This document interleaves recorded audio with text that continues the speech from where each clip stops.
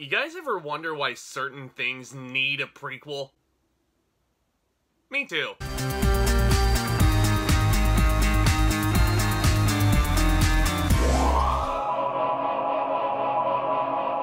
How's it going, guys? My name is Zack. Welcome back to my channel where I love discussing all brand new things cinema and entertainment. And this time around, we're looking at The King's Man, the precursor to two very fun action movies that I clearly liked.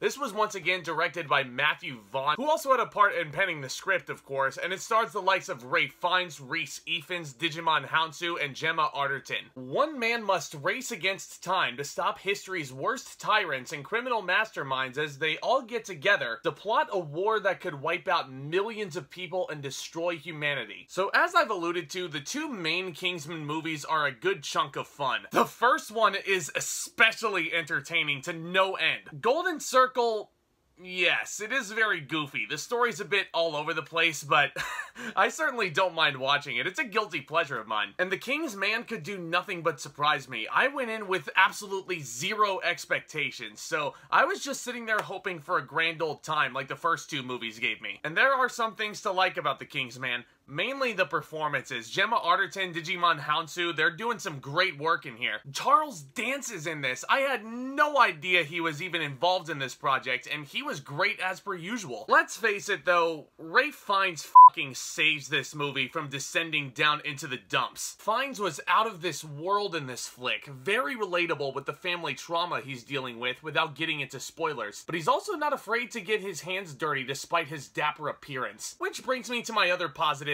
the production design. It looks great. These costumes feel so vintage and right out of the 19aughts and 19 teens. The sets are very regal, no complaints on the creative design in this film. But here's the thing. I was just sitting in this theater looking at this movie, and I was mainly wondering why the Kingsman name was attached to it. And that's really the most damning thing for me. Yes, I agree with the majority. The tonal inconsistencies are for sure prevalent in The Kingsman. There were many points throughout this feature where I was just sitting there wondering what this movie was trying to be. Was it trying to be a spy flick, or was it trying to be this political thriller with war movie undertones? And it almost feels as if, up until the end of this film, this script absolutely forgets what namesake it has. And then it's like, oh yeah, okay, here you go. Here's The Kingsman again. Matthew Vaughn's direction I thought was fairly inconsistent as well. The stylized action spots are there and they're well realized, but the other technicals surrounding the action when it just has to be this contained drama, I really wasn't getting into it. The war sequences are fine, nothing you haven't seen before, and what you have seen is done better in movies like Hacksaw Ridge. But there's also certain points where they're shooting at night, and the lighting really wasn't all there, and it was really, really difficult for me to tell what was going on, and there was this really intense fight happening against this midnight background. And then the main source of light for that scene and a bunch of flares don't go up until after the fight is over. I don't know if that was a creative choice or what, but wouldn't it have been cooler if the flares went up earlier because it was tough for me to decipher what was happening for the most part in those war battles. There are also moments where the script is desperately wanting to get laughs from the audience.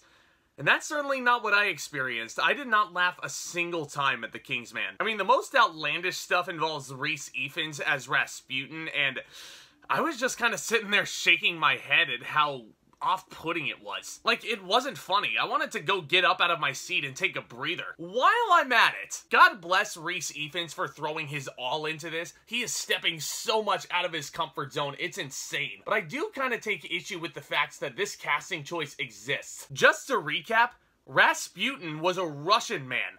Rhys Ifans, on the other hand, is Welsh. I'm just sitting here thinking, were there really no Russian actors to take this role on? Quentin Tarantino was able to find German actors for Inglourious Basterds. This is almost like getting, I don't know, an American man to play this rambunctious, heavy-set Italian dude. And then the actor will then claim he's method, because, you know, that would be stupid. Nope! That did not happen. But you get what I'm saying? It really was, it was a miscast, unfortunately. As hard as Rhys Ifans was trying, I just wasn't really buying into it. And getting back to the big issue at hand, it really doesn't feel like this movie is attached to the Kingsman franchise until like the last 10 minutes or so. Now, I feel like I would have respected Matthew Vaughn for taking on this project a lot more had this just been a World War I style thriller. If it's just a war film centered around trying to get the United States of America involved to help the Brits win the war, I would have been on board with it. I'd been willing to give it a pass, especially if Matthew Vaughn was also directing it with these actors and his style of action sequences.